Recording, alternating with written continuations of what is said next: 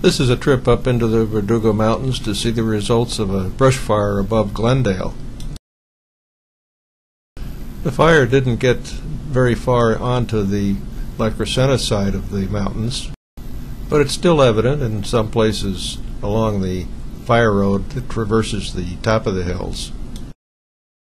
It really becomes evident when you look down on the south side of the hills above Glendale. There you can see the moonscape created by this brush fire. There isn't much left in the way of greenery.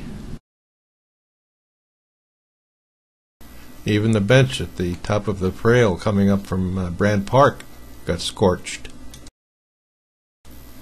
Some more views of the denuded hillsides.